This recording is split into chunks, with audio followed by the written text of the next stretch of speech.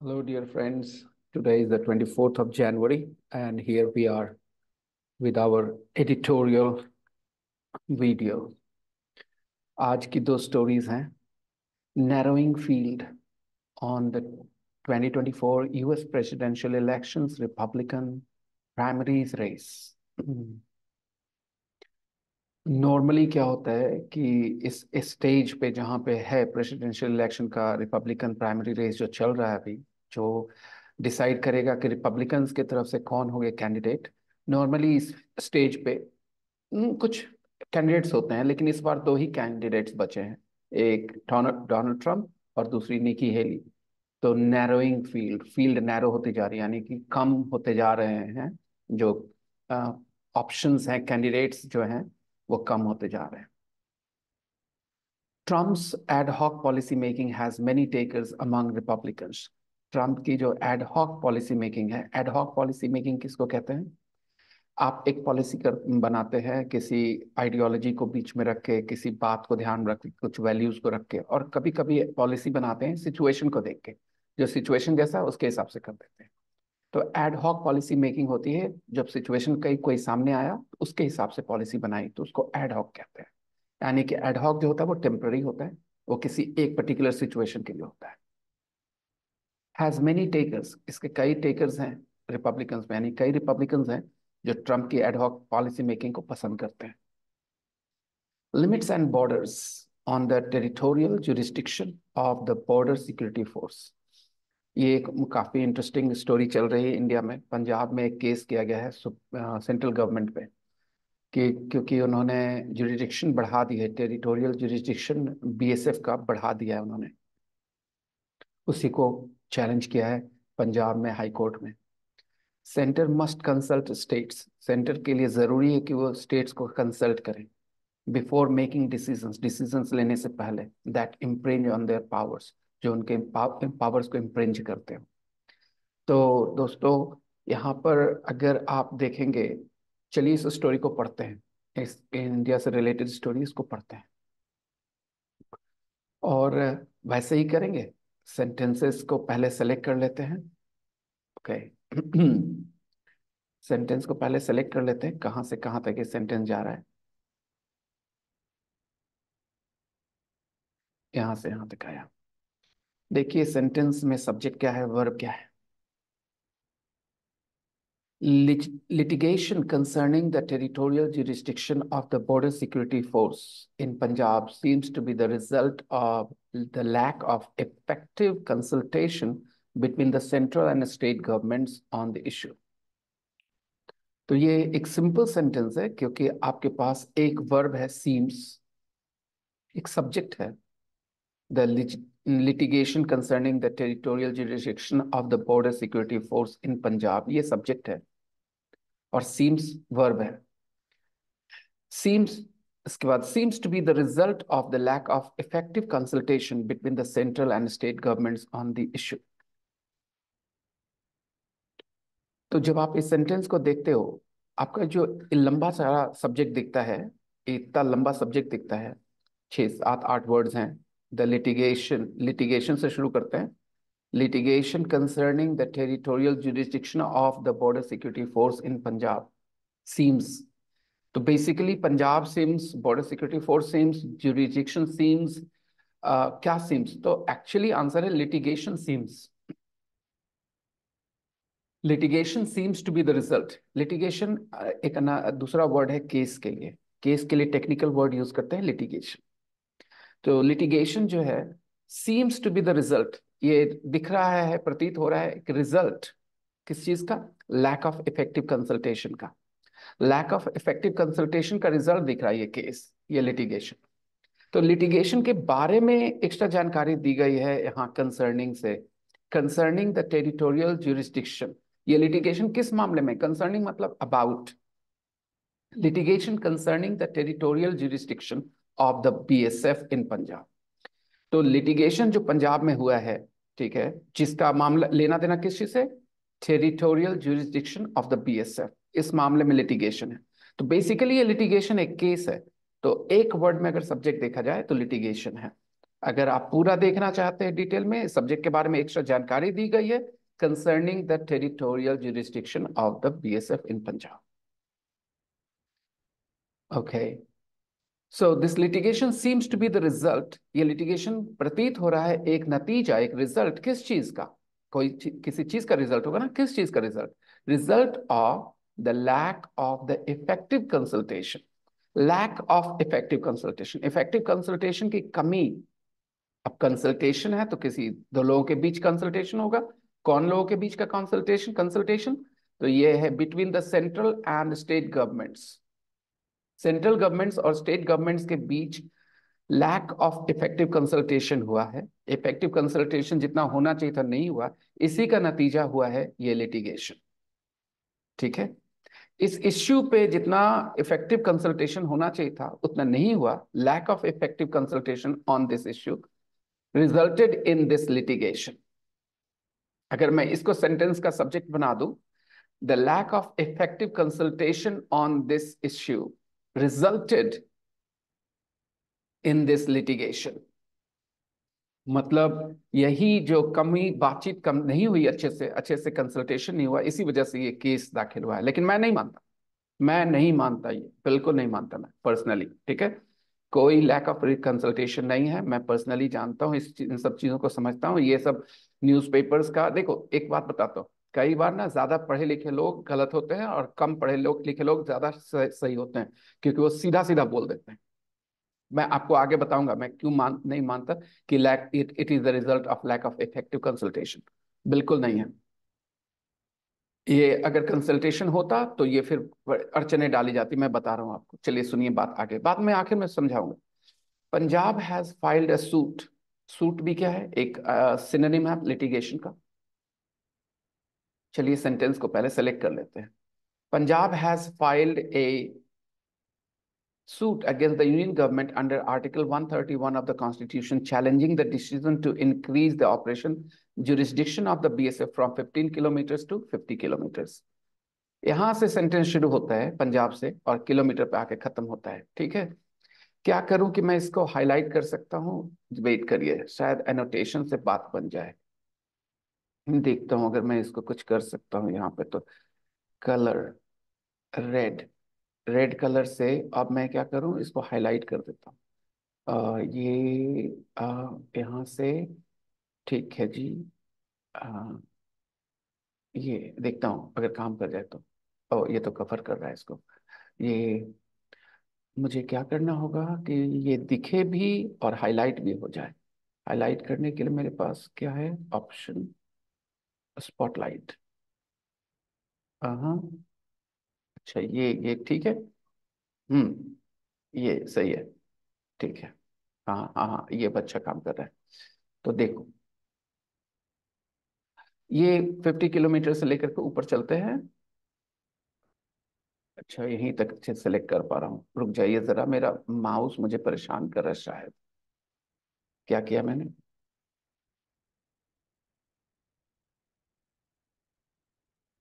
Hmm. Punjab has filed suit. पहले तो आप देख लो कि सूट क्या है, एक सिनोनिम है। किस चीज़ का? सूट क्या है, एक सिनोनिम है लिटिगेशन का। Punjab has filed suit against the union government, ठीक है?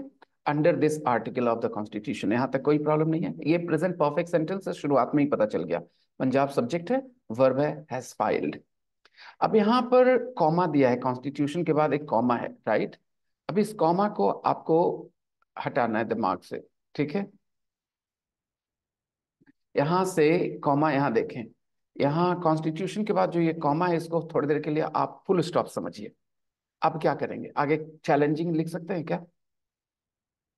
अगर कॉन्स्टिट्यूशन के बाद एक फुल स्टॉप वर्क दे दें तो क्या आगे चैलेंजिंग लिख सकते हैं? नहीं लिख सकते।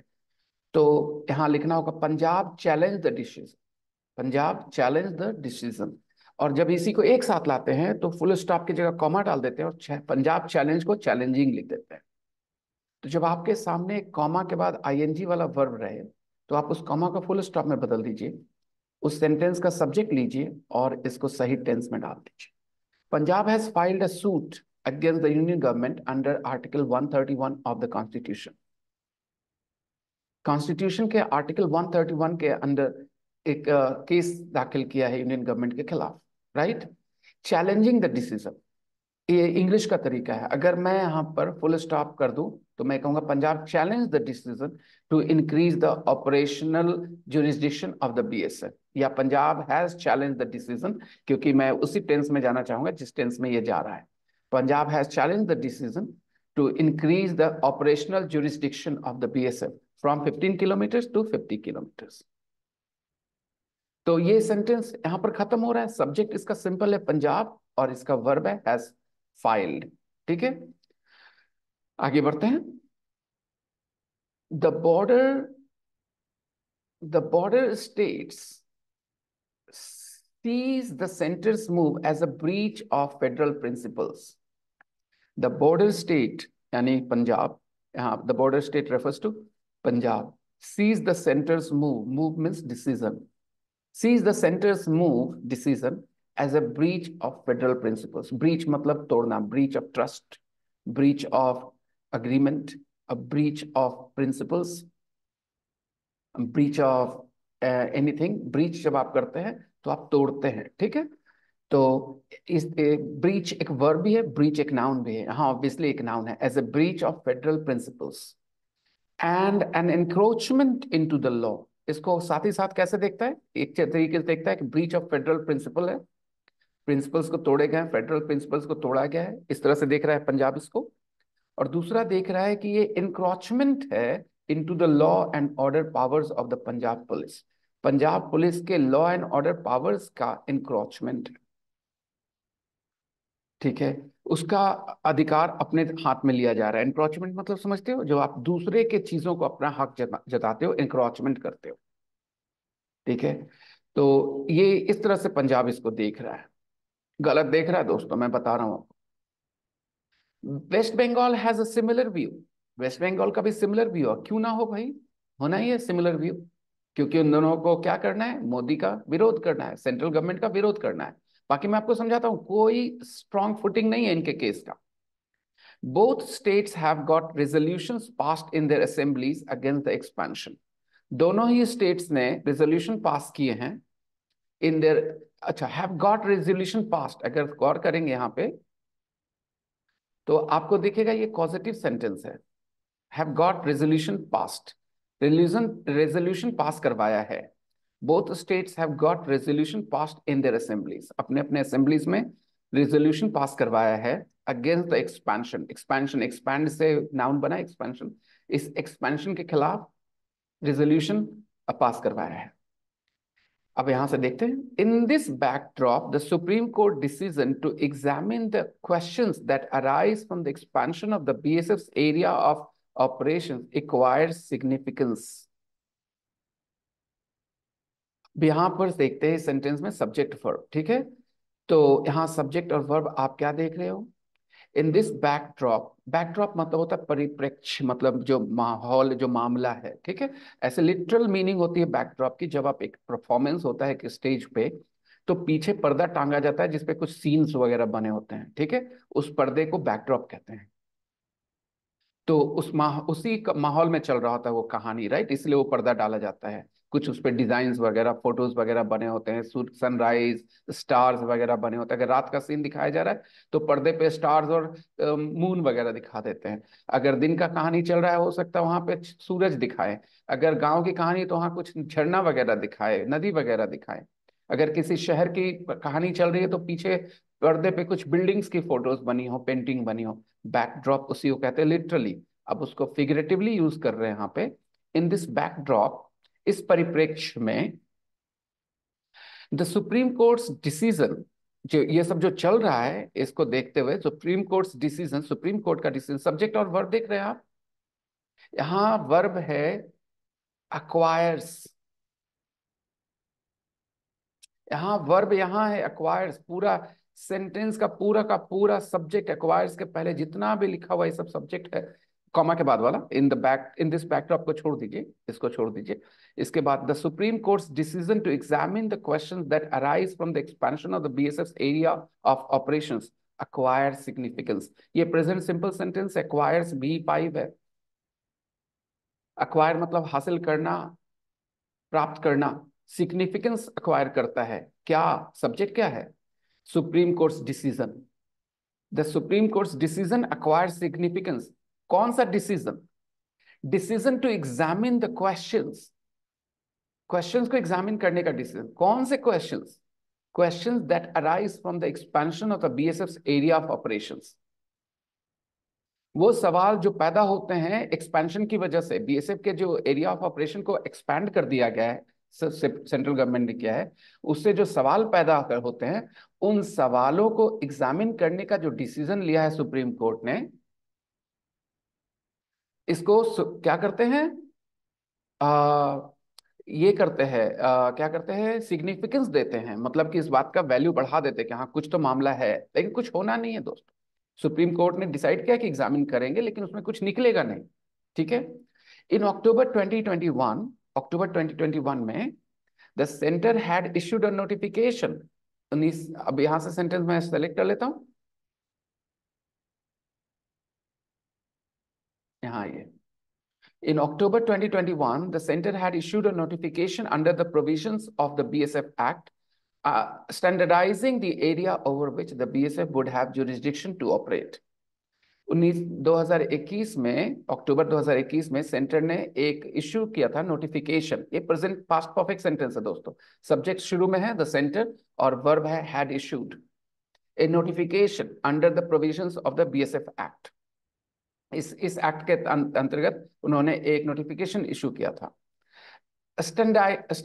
ये जो वर्ड लिखा है स्टैंडर्डाइजिंग कॉमा के बाद, अभी थोड़ी देर पहले मैंने कहा था, अगर ये कॉमा हटा दूँ मैं एक्ट का और फुल स्टॉप दे दूँ तो मैं क्या बोलूँगा? स्टैंडर्डाइजिंग बोल सकता हूँ क्या? नया सेंटेंस का पहला वर्ड नहीं। तो नया सेंटेंस का पहला वर्ड होगा द सेंटर हैड स्टैंडर्डाइज्ड ऐसे जाएगा sentence the centre had standardised the area over which the BSF would have jurisdiction to operate. यहाँ पर मैंने कहा, लिखा होता, अगर यहाँ फुल स्टॉप होता, दोस्तों कॉमा के जगह तो यहाँ होता द सेंटर हैड स्टैंडर्डाइज्ड तो दो सेंटेंसेस को जोड़ के एक सेंटेंस बनाया जा रहा है, इसीलिए वहाँ पर फुल स्टॉप की जगह कॉमा और द सेंटर हैड स्टैंडर्डाइज की जगह standardising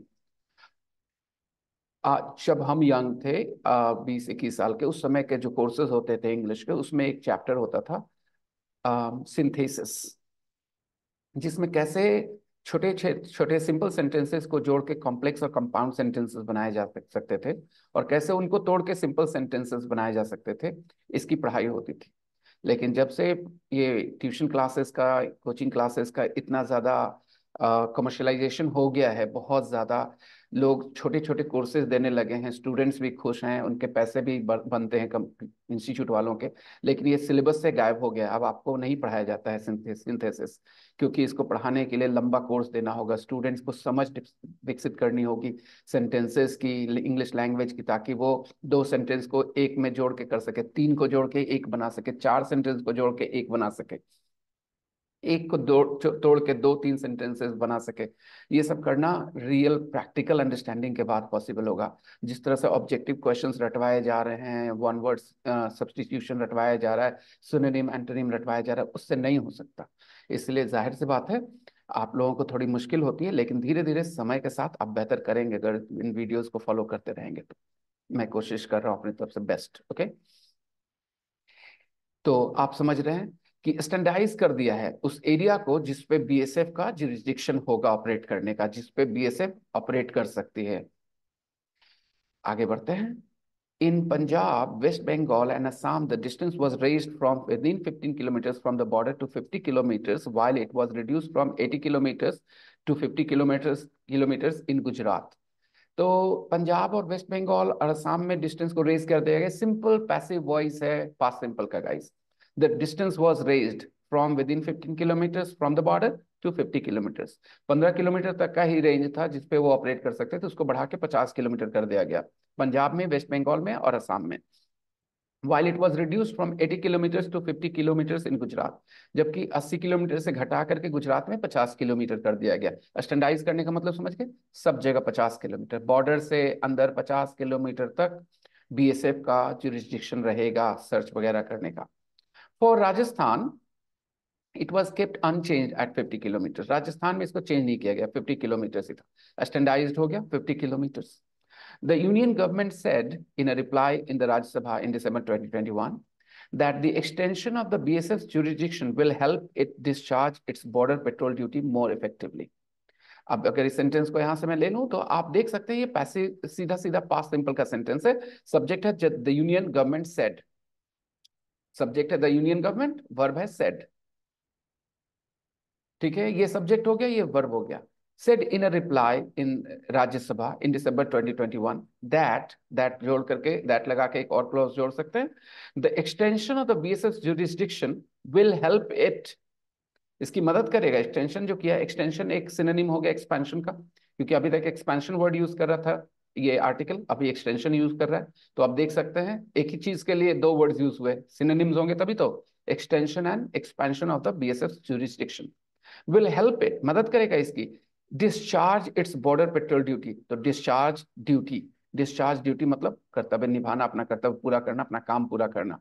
Will help it discharge its border patrol duty patrol duty जो बॉर्डर पे पेट्रोलिंग होती है उसकी ड्यूटी को ज़्यादा इफेक्टिवली ये कर पाएँगे अगर इनका जुरिस्डिक्शन बढ़ा दिया जाए तो।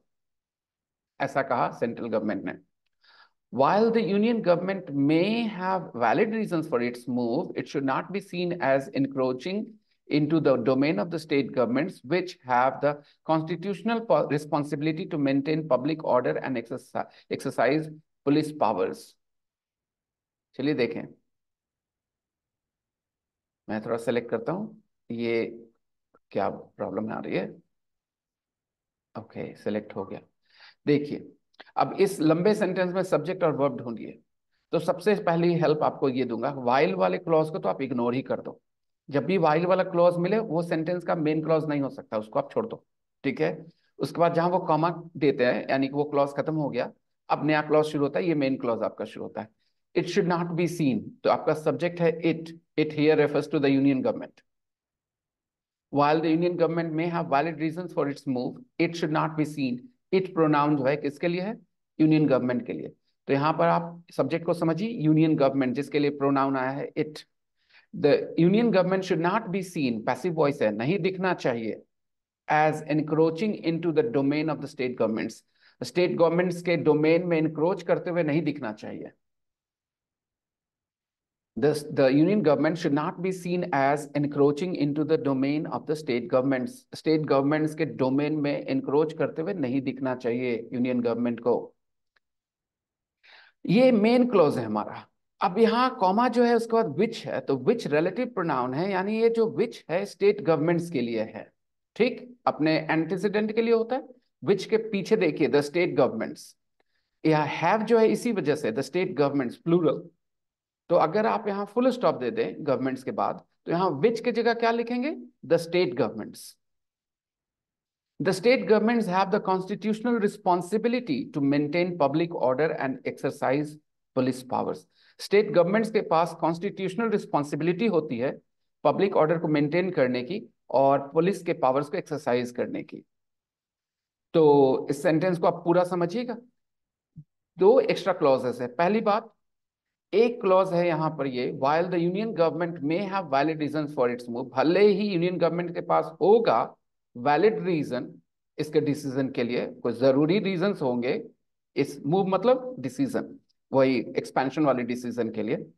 लेकिन उनको दिखना नहीं चाहिए ना इनक्रॉच करते हुए स्टेट गवर्नमेंट्स के डोमेन में, के राइट्स में, जिनके पास अधिकार है रिस्पॉन्सिबिलिटी है कॉन्स्टिट्यूशनल पब्लिक ऑर्डर मेंटेन करने का और exercise public powers police powers को एक्सरसाइज करने का, कैसे सेंटेंस को लॉन्ग करते हैं? अगर इसको दो, तीन छोटे छोटे सेंटेंसेस में हम तोड़ना चाहें, कर सकते हैं हम लोग okay the union government's have, perhaps the union governments have valid reasons for their, for its move, full stop. however they should not be seen as encroaching into the domain of the state governments full stop They have the constitutional responsibility to maintain public order and exercise police powers. Full stop. तीन sentences में तोड़ दिए तीन clauses को अलग अलग ऐसे करते करते समय आपका कंजंक्शन का नॉलेज यूज आ जाता है बहुत अच्छा यूज हो जाता है उसका कौन से राइट right कंजंक्शंस हैं, दो सेंटेंसेस को लिंक करने के लिए। और कंजंक्शंस और एडवर्ब्स कंजंक्शंस आपके यूज़ होते हैं जब आप सेंटेंस को जोड़ रहे हैं, लेकिन जब आप उनको तोड़ रहे हैं तो आप कंजंक्शंस थोड़ी ना यूज़ कर पाएँगे, क्योंकि आप तो सेपरेट कर रहे हो। तो वहाँ पर एडवर्ब्स यूज़ हो जाते हैं, ठीक है? जैसे मैंने हाउ यूज़ किया था, वो एक एडवर्ब था, ठीक है? क्योंकि मुझे ये कॉन्ट्रास्ट दिखाना था। जैसे यहाँ लिखा है वाइल द यूनियन गवर्नमेंट यहाँ जो वाइल जो कंजंक्शन जो रोल प्ले कर रहा है, मैंने वो रोल प्ले करवाया हाउएवर से, एक एडवर्ब से, वही काम करवा लिया। मैं आपको एक्सप्लेन कर देता हूँ फिर से। While the union government may have valid reason for its move it should not be seen as encroaching into the domain of the state governments तो मैं कह रहा हूँ द यूनियन गवर्नमेंट पर have valid reason for its move full stop however it should not be seen as encroaching into the domain of the state governments full stop फिर state governments के लिए मैं दे बोल के प्रोनाउन प्लूरल प्रोनाउन बोल के बोल सकता हूँ। They have the constitutional responsibility to maintain public order and exercise police powers जब हम लोग बोलते हैं तो ज़्यादातर छोटे छोटे सेंटेंसेस बोलते हैं सिंपल सेंटेंसेस बोलते हैं। लेकिन लिखते हैं तो उनको हम लोग कंबाइन करके कंपाउंड और कॉम्प्लेक्स सेंटेंसेस बना लेते हैं, जहाँ एडवर्ब्स कंजंक्शंस का रोल बढ़ जाता है। चलिए आगे बढ़ते हैं। अगर आप अप्रिशिएट किए इस ग्रामर एक्सप्लेनेशन को तो। The BSF mainly focuses on preventing trans-border crimes, especially unauthorized entry into the into or exit from Indian territory. ये easy sentence है क्योंकि आपके पास subject है the BSF और verb है focuses. The BSF focuses. The BSF mainly focuses on preventing रोकथाम करने में है ना इसी पर फोकस रहता है इनका। ये फोकस करते हैं on preventing trans border crimes जो ट्रांस बॉर्डर क्राइम्स होते हैं बॉर्डर के इस साइड वो साइड से क्राइम्स होते हैं। ट्रांस हमेशा होता है ए साइड से वो side transatlantic okay trade transatlantic trade trans जब भी होता है तो उसका मतलब होता है बदलाव। इसलिए कहते हैं ट्रांसलेशन लैंग्वेज का बदलाव हो जाता है उसमें right let's see The BSF mainly focuses on preventing trans-border crimes, especially unauthorized entry into और एग्जिट फ्रॉम इंडियन टेरिटरी खास करके जो अनऑथराइज एंट्री होती है और एग्जिट होती है इंडियन टेरिटरी से, उसमें। तो अगर भारत में कोई अनऑथराइज तरीके से आता है, घुसपैठ करता है या भारत से कोई भागने की कोशिश करता है अनऑथराइज तरीके से तो उस पर लगाम लगाने इनका मेन काम होता है, उसी पे इनका मेन फोकस होता है। It does not have the power to investigate or prosecute offenders but has to hand over those arrested and the contraband seized from them to the local police. Here it refers to the BSF. Okay. The BSF does not have the power to investigate. Simple sentence and negative, present simple. It does not have the power. It does not have the power. इसके पास power नहीं है, right? It does not have the power to investigate or prosecute offenders but has to hand over those arrested, लेकिन इन्हें hand over करना होता है, those arrested, जिनको वो arrest करते हैं and the contraband seize contraband मतलब स्मगल्ड आइटम्स और कॉन्ट्राबैंड जो वो सीज करते हैं स्मगल्ड स्मगल्ड आइटम जो सीज करते हैं from them to the local police local police को वो सीज करके दे देते हैं हैंड ओवर कर देते हैं आदमी को भी ऑफेंडर को भी, और उससे जो सामान हासिल किया, उसको भी लोकल पुलिस को हैंड ओवर कर देते हैं।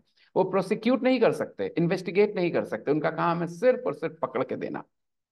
इन प्रैक्टिस प्रैक्टिकल तरीके से देखा जाए तो इन BSF personnel usually work in close coordination with the police and there ought to be no clash of jurisdiction. अब यहाँ से सेलेक्ट कर लेते हैं। यहाँ पर सिंपल है BSF personnel usually work present simple sentence है। बीएसएफ पर्सनल अक्सर काम करते हैं क्लोज कोऑर्डिनेशन में पुलिस के साथ यानी मिल के काम करते हैं and there ought to be no clash of jurisdiction और कोई क्लैश होना भी नहीं चाहिए jurisdiction का It is possible to argue that the expanded jurisdiction merely authorizes the BSF to conduct more searches and seizures.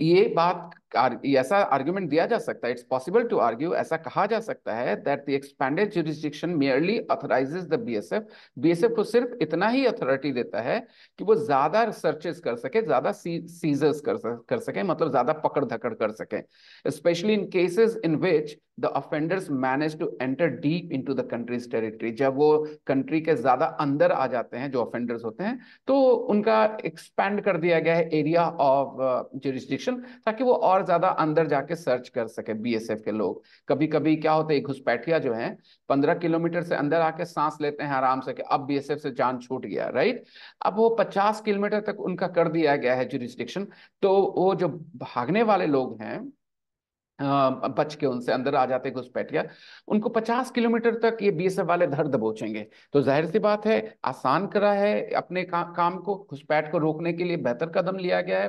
इसमें पुलिस को क्या परेशानी हो सकती है?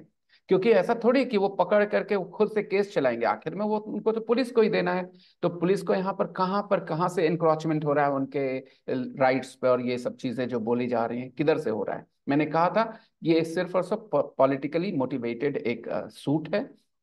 लिटिगेशन है, जो बाद में देखेंगे आप इसका रिज़ल्ट यही होगा कि कुछ नहीं। बस सुप्रीम सुप्रीम कोर्ट कह देगी कि नहीं, इसमें कोई दिक्कत नहीं है। जो चीज़ें जिस तरह से घट रही हैं भारत के सुरक्षा के लिए, बीएसएफ का जो एक्सपेंशन किया गया है एरिया ऑफ़ ऑपरेशन वो सही है, कुछ भी इसमें खराबी नहीं है।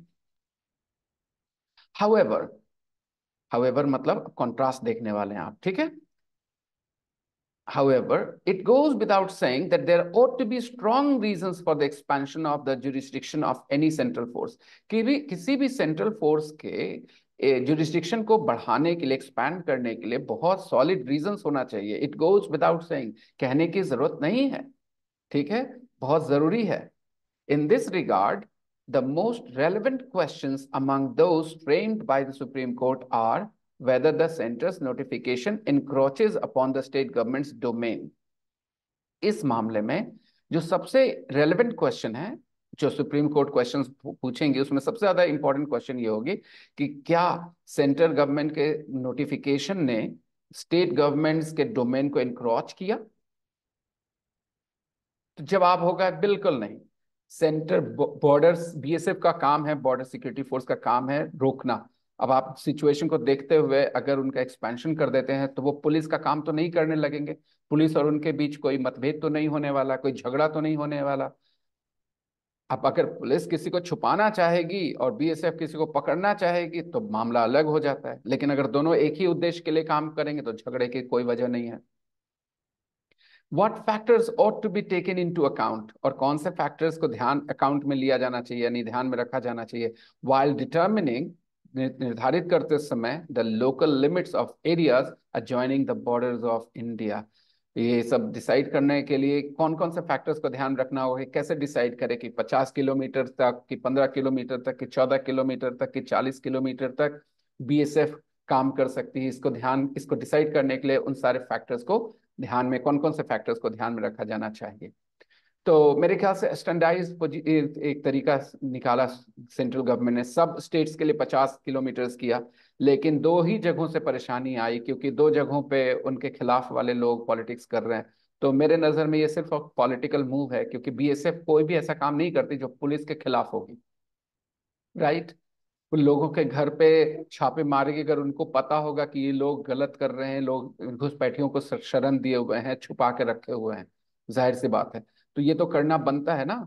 ये तो नहीं कि उनको छोटा सा जगह दिया जाए कि पंद्रह किलोमीटर किसी तरह से क्रॉस कर लिए आप, अब आप, चूँकि हमारे पंद्रह किलोमीटर के रेंज से बाहर हो गए, अब आप आराम से रहिए, क्योंकि हमारा एरिया खत्म हो जाता है। तो मेरे ख्याल से ये अच्छा मूव था सेंट्रल गवर्नमेंट का इसमें कोई खराबी नहीं है। बाकी मेरे व्यूज़ बदलेंगे अगर कुछ ऐसी इन्फॉर्मेशन मेरे सामने आएगी, जिसकी वजह से मेरे व्यूज़ बदलने चाहिए। अभी फ़िलहाल मेरे व्यूज़ यही है कि सेंट्रल गवर्नमेंट ने ये अच्छा किया था, और इस पे जो पॉलिटिक्स किया जा रहा है, ये केस किया गया है जो। तो फिर हम लोग कल मिलेंगे गाइस और कंटिन्यू करेंगे इस तरह से अपने क्लास को. शेयर करिए अपने दोस्तों के साथ, अगर आपको मज़ा आ रहा हो सीखने में तो we will meet tomorrow thank you bye bye